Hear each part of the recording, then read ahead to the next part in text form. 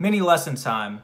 For years, I've wondered how guys like Eric Johnson and Joe Bonamassa would play these really, really fast pentatonic licks where they're changing direction. They're like ascending, and then all of a sudden they're descending pentatonics, and it just sounds crazy. Sounds awesome. And uh, I never could really figure out how they're gonna. They did it so effortlessly, and it really comes down to one thing.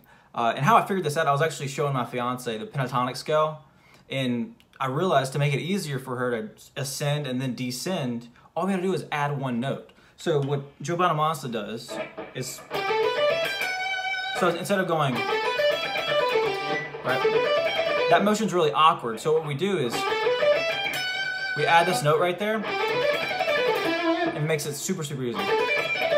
Also, it adds a little bit of flavor. It's a really cool sounding note.